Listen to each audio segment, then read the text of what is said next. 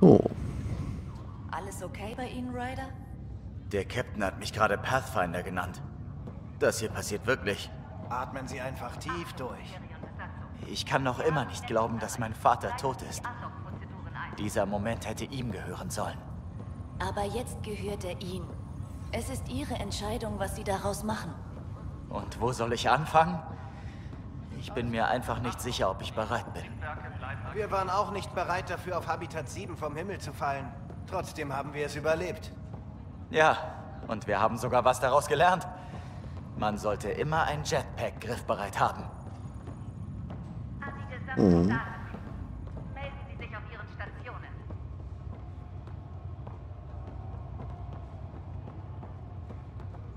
Der Captain will die kompletten Dienstpläne sehen. Ich habe sie gerade auf den neuesten Stand gebracht. Gut. Sie wird als erstes nach den Er war bestimmt mal Fußballer.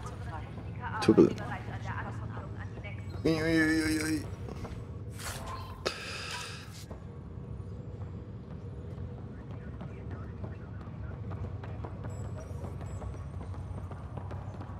Okay, Leute, das ist der Moment, auf den wir gewartet haben. Informiert eure Teams, dass die Andock-Prozedur begonnen hat. Wir haben 20.000 schlafende Kolonisten und müssen wissen, wo wir sie unterbringen, bevor der Wecker klingelt. Sobald wir die Freigabe der Nexus haben, fangen wir an, die Leute aus der Stase zu holen. Damit alles reibungslos verläuft, müssen sich eure Teams untereinander abstimmen und dafür sorgen, dass die Leute in Bewegung bleiben. Irgendwelche Fragen? Was machen wir, wenn jemand während der Reise gestorben ist? Nun, es ist eine traurige Tatsache, dass nicht alle diese Reise überlebt haben werden. Es gibt bereits vereinzelte Berichte über gesundheitliche Probleme infolge dieser Wolke aus dunkler Energie, auf die wir getroffen sind. Falls jemand nicht wieder aufwacht, was hoffentlich die Ausnahme ist, sprecht ihr mit dem Sanitätsoffizier. Wir werden dann die Angehörigen informieren. Und versucht bitte möglichst dezent vorzugehen. Andromeda ist ein Neubeginn, der nicht von Trauer überschattet werden soll.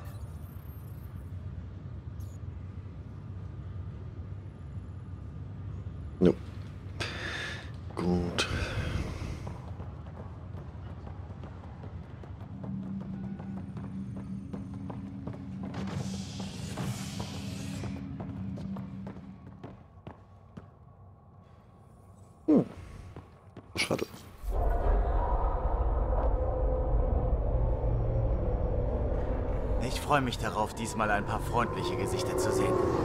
Die Nexus hat eine Rumpfbesatzung. Gerade stark genug, um den Bau der Station abzuschließen und den Archen eine sichere Anlaufstelle zu bieten. Das heißt, wir können anfangen, unsere Leute aufzuwecken. Sie haben doch hoffentlich auch eine Bar gebaut, oder? Wir brauchen schließlich Champagner für die Begrüßungsparty. Sie rechnen mit einer Party? Naja, nach allem, was wir durchgemacht haben, könnte ich definitiv was zu trinken gebrauchen. Das gilt wohl für uns alle. Ja, es war eine harte Tour bisher. Wir rappeln uns wieder auf. Wir brauchen einfach nur was Vernünftiges zu essen und eine Dusche.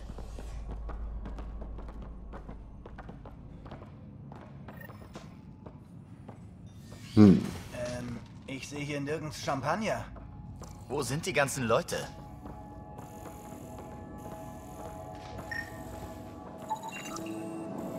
Hm. Irgendwas stimmt hier ganz und gar nicht. Alles ist wie ausgestorben. Ja, wenn das hier eine Überraschungsparty ist, haben sie sich echt Mühe gegeben. Die kennen wir doch noch. Wir könnten rausfinden, was die VI zu sagen hat. Willkommen auf der Nexus, dem Tor nach Andromeda. Ich bin Avina, eine virtuelle Intelligenz, die Ihnen bei der Immigration helfen soll. Können Sie uns sagen, wo die Begrüßungsparty stattfindet? Es tut mir leid. Mein Code beschränkt sich auf Auskünfte und einfache Interaktionssimulationen. Wählen Sie bitte aus folgenden vorprogrammierten Antworten. Welches Jahr haben wir? Wir befinden uns im Jahr 2819. Nach über 600 Jahren in der Stase ist es normal, wenn Sie sich nach der Ankunft desorientiert oder verwirrt fühlen. Unser medizinisches Personal hilft Ihnen gerne dabei, mögliche körperliche oder mentale Nachwirkungen zu überwinden. Nun, zumindest mit dem Datum liegt sie richtig. Also, wo sind die ganzen Leute? Was ist die Nexus? Die Nexus dient als zentrale Koordinationsstelle für die Kolonisierungsbestrebungen der Andromeda-Initiative. Sie ist der erste Anlaufpunkt für alle Kolonisten, die diese neue Galaxie erreichen. Bitte genießen Sie die zahlreichen Möglichkeiten auf der Nexus. Die Station wird weiter wachsen und den Kolonisten eines Tages als Regierungssitz dienen. Unser Ziel ist es, Sicherheit, Stabilität und Wohlstand zu gewährleisten. Danach sieht es aber nicht aus. Hm. Was können Sie mir über die Andromeda-Galaxie sagen? Andromeda liegt mehr als zwei Millionen Lichtjahre von der Milchstraße entfernt. Keine Lebensform aus unserem Heimatsystem ist je so weit gereist, was sie zu einem wahren Pionier macht. Die Nexus selbst befindet sich in einer Region, die als Helios Cluster bekannt ist. Hier werden sie gemeinsam mit tausenden anderen Kolonisten ihre Träume von einer neuen Heimat wahrmachen. Ihr Schicksal erwartet sie.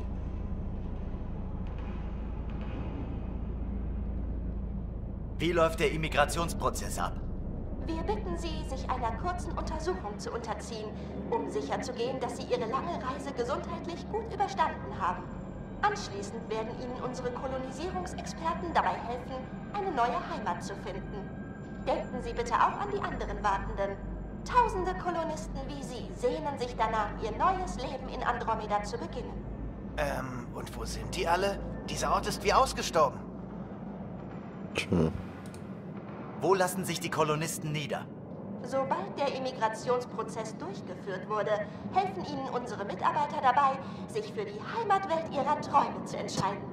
Reizt Sie das tropische Paradies auf Habitat 7?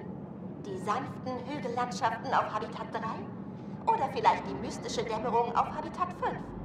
Wofür Sie sich auch entscheiden. Unsere Pathfinder haben sämtliche Kolonialwelten begutachtet, um ihre Sicherheit und ihr Wohlergehen zu gewährleisten. Puh. Habitat 7? Da sind wir doch gelandet. Ihre Informationen sind total veraltet. Das wäre alles. Es war mir ein Vergnügen. Wenden Sie sich bitte an unser Immigrationspersonal, um weitere Hilfe zu erhalten. Und willkommen in Andromeda, Ihrer neuen Heimat, in der kein Stern heller strahlt als Sie. Die aktuelle Wartezeit bei der Immigrationsabwicklung beträgt unbekannter Fehler Okay, das war echt hilfreich. Also. Wahrscheinlich so, so. Die Pflanzen sind noch am Leben.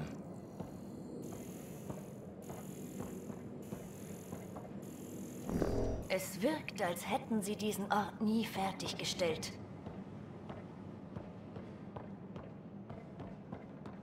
Okay, kommen wir nicht durch, kann nicht Hallo? springen. Ach hier. Oh, super. Hier müssten eigentlich massenhaft Leute sein.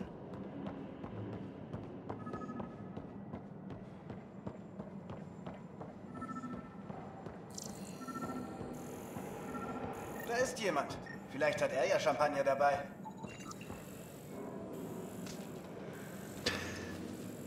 Äh, 100% hierbei handelt sich um wahrscheinlich ein Mitglied Arbeitsmannschaft der Nexus und gerade elektrische. Mhm, Okay, fragen wir nicht einfach diesen Kerl da vorne? da schon dabei. Hallo! Wir sind von der Arche Hyperion und fragen uns, wo alle hin sind. Hat er sie gehört? Sagen Sie von einer Arche?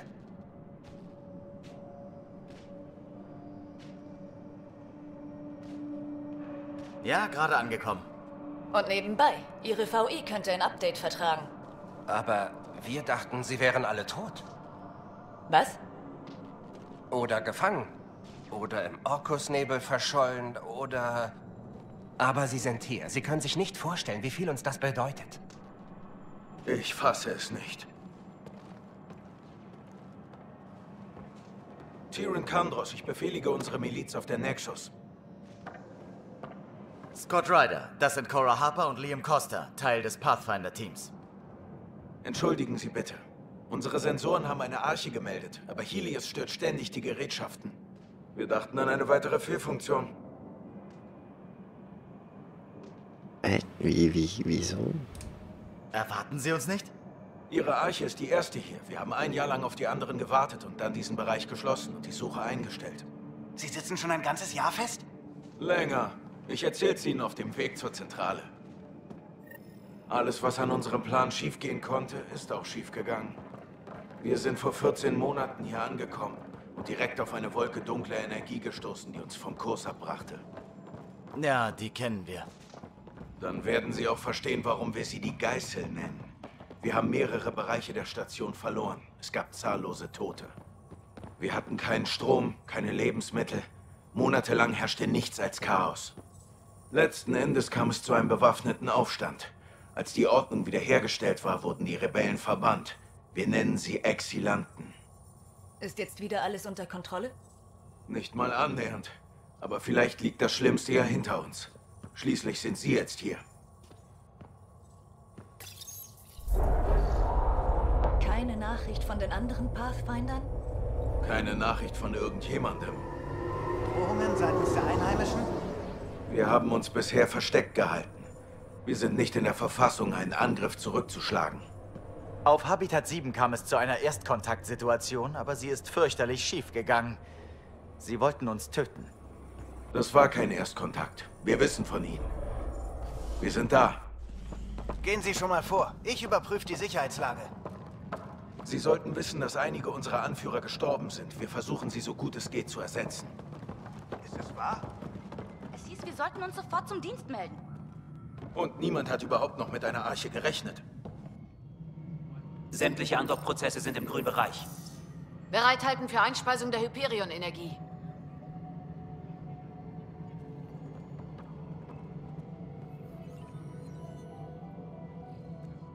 Die Crew der Hyperion. Viel Glück. Ich bin Jaren Tan, Direktor der Initiative. Sie können sich nicht vorstellen, wie froh wir über Ihre Ankunft sind. Mhm.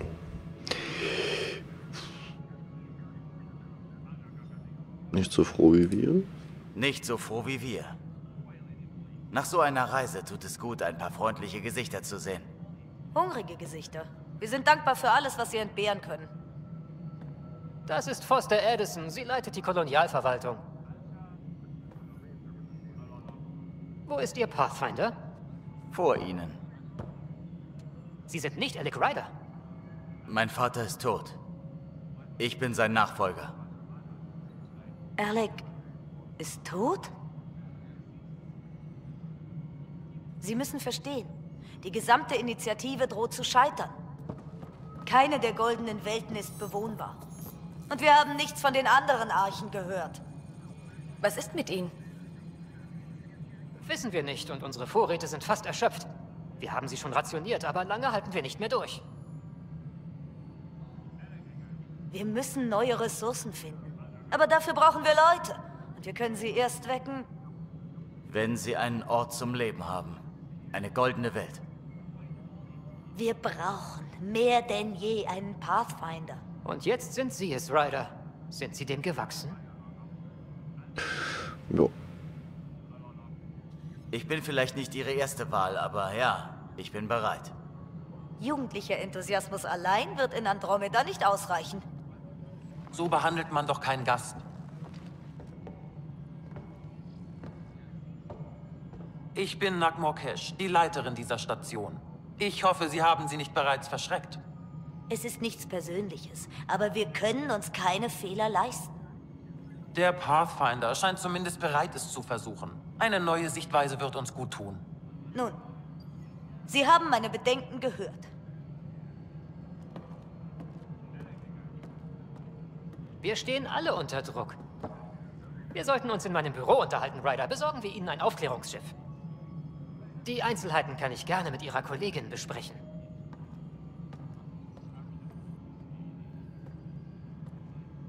Willkommen auf der Nexus.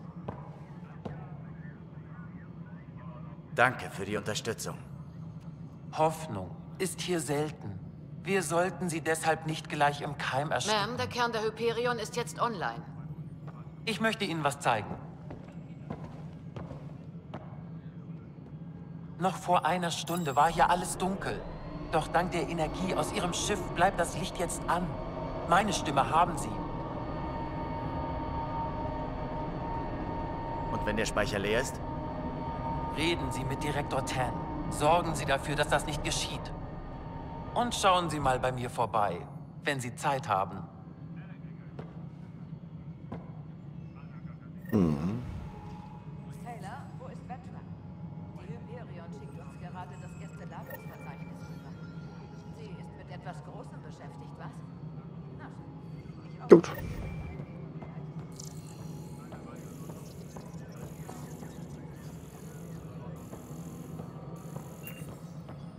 Nein, das wollten wir so nicht.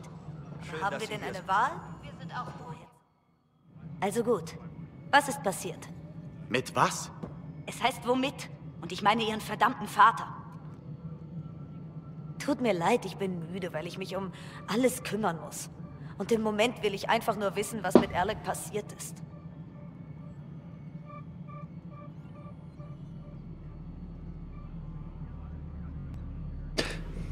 Dem Moment hat es mir das Leben gerettet. Aber anscheinend wollte mein Vater, dass ich die Aufgabe irgendwann übernehme. Sie kann nicht vererbt werden. Hätten wir eine auf Inzucht basierende Monarchie gewollt, hätten wir die Hälfte unseres Genpools zu Hause lassen können. Nicht zu Hause. Die Milchstraße. Unser Zuhause ist hier. Dieses Chaos. Wir haben nicht viele Optionen, Ryder. Vielleicht können Sie ja beweisen, dass Ihr Vater recht hatte. Aber verzeihen Sie bitte, dass ich mir nach 14 Monaten gescheiterter Kolonisation keine allzu großen Hoffnungen mache. Wie passen Sie in die Führungsriege der Nexus? Ich überwache die eigentlichen Ansiedlungsbemühungen. Da die Anzahl der Außenposten derzeit alles andere als ideal ist, habe ich nur begrenzten Einfluss. Worauf Tan mich immer wieder gerne hinweist. Ich habe eine durchaus angemessene Karriere als Amtsleiterin zurückgelassen. Immerhin in einer Provinzhauptstadt. Nur eine neue Galaxie konnte mich davon weglocken. Und jetzt sind wir hier und tun nichts. Jo. Sie haben meinen Vater Alec genannt. Niemand tut das. Viele von uns haben sich der Initiative wegen seiner Vision angeschlossen. Also dem Teil davon, den er mit anderen geteilt hat. Waren Sie befreundet oder... Ich bin nicht ihre neue Mutter, falls das ihre Frage ist. Oder seine Freundin. Er hat es gehasst, dass ich seinen Titel nicht benutzt habe. Aber niemand ist ein Pathfinder, bis er tatsächlich einen Path gefunden hat. Das ist wie bei einer Kolonialdirektorin ohne Kolonien. Mhm. Es muss irgendeinen Plan für den Umgang mit feindseligen Aliens geben. So naiv können wir nicht gewesen sein. Wir haben mit Leben gerechnet, nicht mit einem Feind, der jeden Dialog verweigert. Sie greifen nicht an, sie desinfizieren. Wir sind für sie nichts als Bakterien. Tut mir leid. 14 Monate und man fängt an, poetisch zu werden. So schlimm ist die Lage.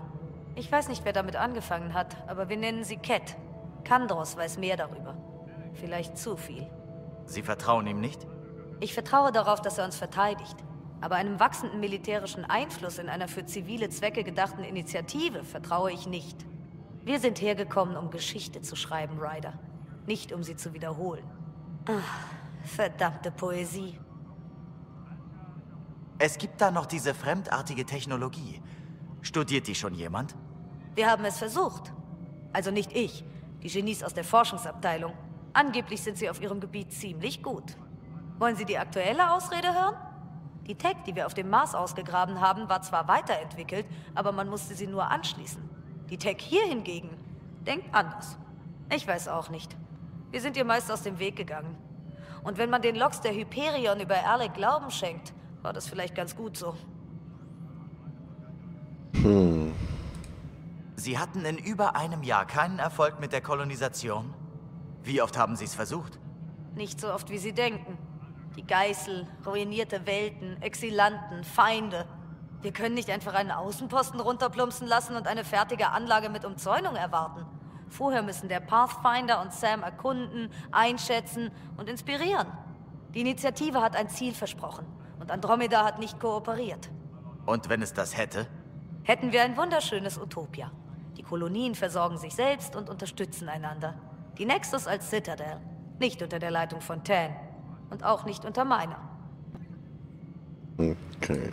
Sie entschuldigen mich, Direktor Edison. Ryder? Es heißt Pathfinder. Ryder, wir verhungern hier. Wenn wir kein Fundament von Außenposten errichten, um die Initiative zu ernähren, könnten wir genauso gut seit 600 Jahren tot sein. Alec hat viel versprochen. Nichts davon ist eingetreten. Damit sind Sie jetzt konfrontiert. Darum vertrauen Ihnen die Leute nicht. Darum vertraue ich Ihnen nicht. Beweisen Sie mir, dass ich Unrecht habe.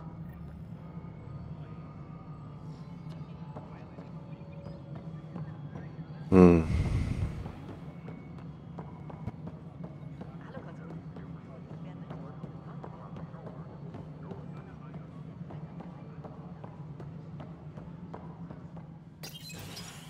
Das ist der Planet, auf dem wir gelandet sind. Habitat 7. Er war nicht mal annähernd bewohnbar.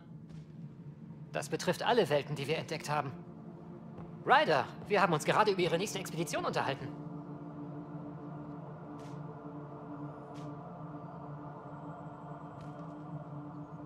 Ich dachte, ich sei als Pathfinder nicht geeignet. Direktor Edison hat Ihre Meinung. Ich habe meine eigene. Und wenn Sie sich uneins sind? Ich leite die gesamte Initiative und habe entschieden, Ihnen die Chance zu geben, sich zu beweisen. Die Geißel hat uns schwer erwischt, was auch immer sie ist. Unsere Wissenschaftler halten sie nicht für ein natürliches Phänomen. Eine künstliche Energiewolke? Bei unserem Aufbruch war sie noch nicht da. Durch sie ist keine goldene Welt mehr bewohnbar. Und dann sind da noch diese Cat. Sie sind besessen von Alien-Bauwerken, die überall im Cluster zu finden sind. Sie würden alles tun, um andere von ihnen fernzuhalten. Mord ist offenbar nichts, was nur in der Milchstraße vorkommt. Die Herausforderung ist nun, trotzdem eine Welt zu besiedeln. Und zwar diese hier. Eos. Wie? Sie müssen die Lebensfähigkeit des Planeten für einen Außenposten verbessern. Dann können wir mehr Kolonisten aus der Stase holen. Mehr Kolonisten können mehr Ressourcen zur Unterstützung der Nexus sammeln. Alles hängt davon ab. Wir wollen nämlich sechs Welten besiedeln. Okay, aber ich dachte, alle Planeten wären unbewohnbar. Wie soll ich... Ein guter Pathfinder löst dieses Problem nur zu gern. Nun denn, ich denke, ich sollte ein paar Dinge überprüfen. Aber es kratzt Sie nicht, falls ich scheitere, richtig? Sie suchen sich einfach einen anderen Pathfinder. Es ist Teil meines Jobs, auf andere zu setzen. Bei einigen zahlt es sich aus, bei anderen wiederum... Genau. Sagen Sie mir, wo mein Schiff ist, damit ich von hier weg kann. Es wird gerade in der Andockbucht bereit gemacht. Die Koordinaten von EOS sind im Computer. Und sobald Sie Zeit haben, sollten wir über die verschollenen Archen sprechen. Daran habe ich auch schon ge... Ah. Stimmt was nicht? Ryder, kommen Sie zum Samkern auf der Hyperion. Ihr Implantat braucht Wartung und wir haben Vertrauliches zu besprechen. Nein, alles gut.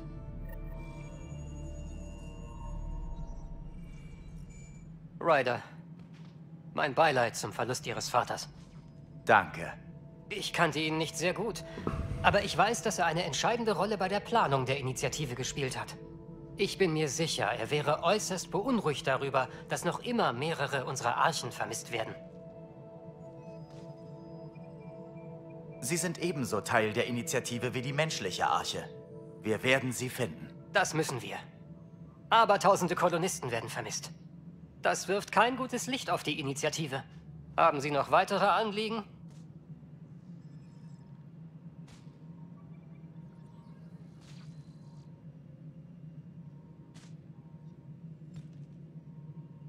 Können Sie mir noch mehr Informationen über die verschollenen Archen geben? Nein, und das ist der beunruhigende Teil. Die Archen der Asari, Turianer und Salarianer sind einfach verschwunden. Falls sie dieselben Probleme mit der Geißel hatten wie wir, befürchte ich das Schlimmste. Sollten Sie also irgendwelche Hinweise finden, gehen Sie ihnen bitte nach. Ohne die anderen Archen kann das Versprechen der Initiative niemals wahr werden. Gibt es noch andere Archen, die wir erwarten sollten? Wir hatten gehofft, die Quarianer würden ein Teil der ersten Welle sein. Aber vor dem Start 2185 erfuhren wir, dass sie technische Probleme mit ihrem Schiff hatten. Angeblich sollten sie auch Drell, Hanar und andere Spezies mitbringen. Die vielen biologischen Anforderungen sorgten für Komplikationen. Es wird noch einige Zeit dauern, bis sie da sind.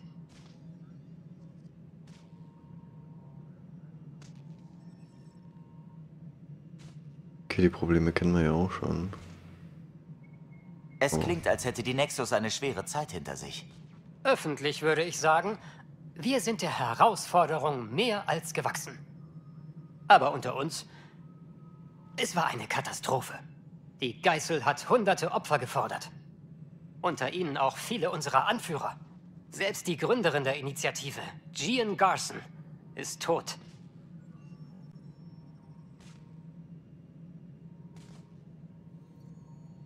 Wie ist Gian Garson gestorben? Zusammen mit der übrigen Führungsriege. Als die Nexus auf die Geißel prallte, wurde ein großer Flügel mit Stase-Kapseln zerstört. Sie waren sofort tot.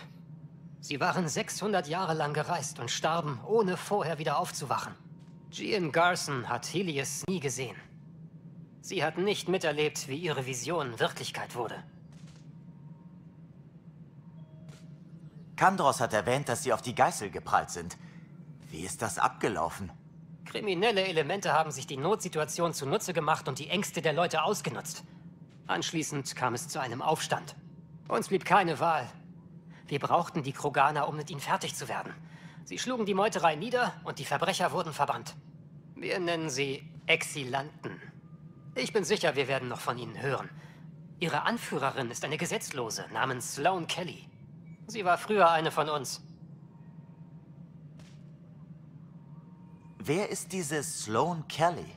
Sie war die Leiterin der Nexus Sicherheit.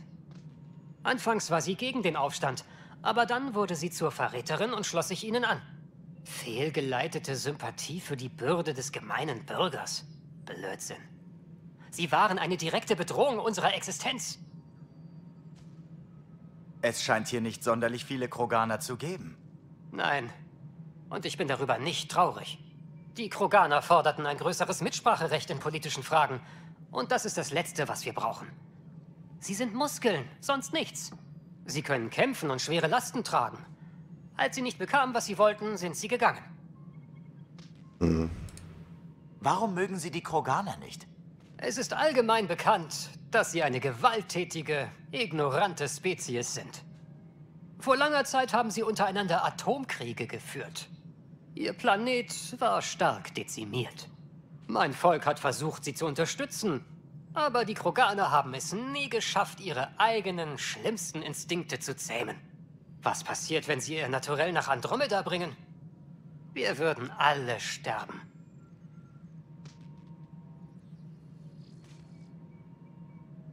Was muss ich bei der Lebensfähigkeit eines Planeten berücksichtigen?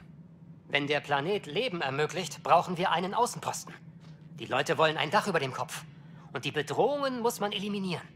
Ob das nun die Cat oder andere Schrecken sind, die in Helios lauern. Wenn ständig Kolonisten ermordet werden, kann das entmutigend wirken. Eine weitere Priorität für jeden Pathfinder sind die Erkundung und Kartografierung des Geländes. Und vergessen Sie die Aufklärungsposten nicht. Die sind wichtig. Was können Sie mir über diese Aufklärungsposten sagen? Ich hatte schon befürchtet, dass Sie das fragen. Ich kann dazu nur wiedergeben, was die Techniker mir gesagt haben. Ein Aufklärungsposten ermöglicht Einsatzteams Bergbau und die Reparatur von Ausrüstung und sichert die Nachschubversorgung. Wer würde das nicht wollen? Aber da bisher jeder Kolonisierungsversuch gescheitert ist, bleibt das vorerst nur Theorie. Sie werden die Sache testen, Ryder. Hm, super. Was können Sie mir sonst noch über die Initiative erzählen? Sie stellt die größte Migration dar, die je in Angriff genommen wurde. Nie zuvor hat sich jemand über die Milchstraße hinausgewagt. Wir alle haben unsere Heimat zurückgelassen, um nach Freiheit, Glück und vielleicht einem Neuanfang zu suchen. Wir sind die mutigsten Seelen unserer jeweiligen Spezies. Und ich hoffe, die Nexus wird als Sitz unserer gemeinsamen Regierung dienen. Was wissen Sie über die Anfangszeit der Initiative? Das, was die meisten darüber wissen. Gian Garson hatte eine Vision und machte das alles möglich. Sie war eine Unternehmerin auf der Erde. Wohlhabend. Jung. Für einen Menschen. Garson hatte die Idee für die Initiative Anfang der 2170er, glaube ich. Viele hielten es für unmöglich, die Milchstraße zu verlassen. Aber sie blieb hartnäckig. Und wie bei den meisten großen Ideen waren die Zweifler im Unrecht.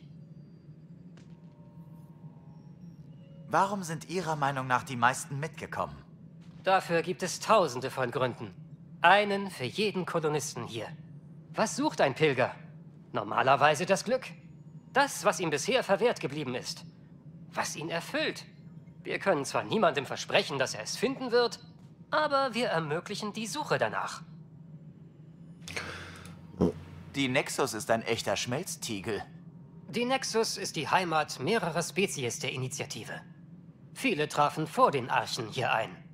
Wir hoffen, dass diese Station eines Tages den Regierungssitz in Andromeda bildet. Obwohl ich mir nicht sicher bin, was man sich dabei gedacht hat, auch Kroganer aufzunehmen. Wir Salarianer halten grundsätzlich nicht viel von ihnen. Und meine Erlebnisse hier haben meine Meinung nicht geändert.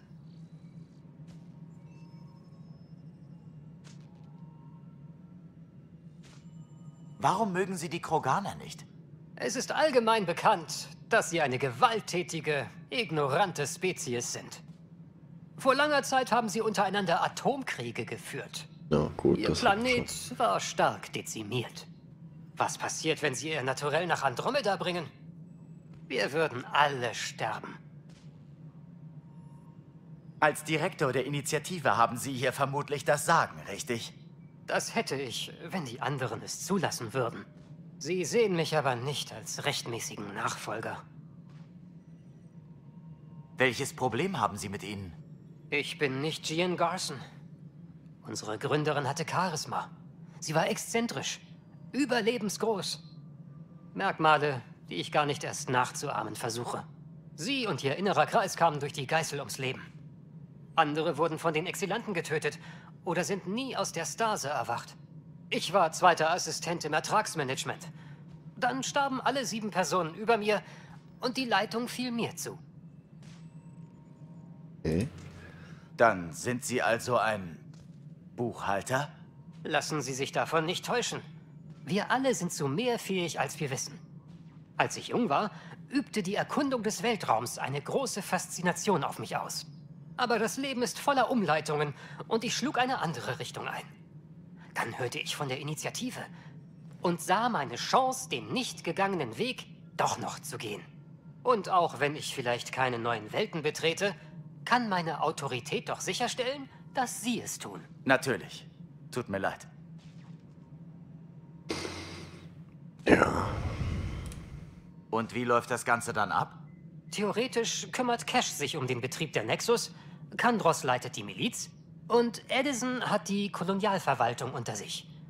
Ich bin so eine Art Oberaufseher.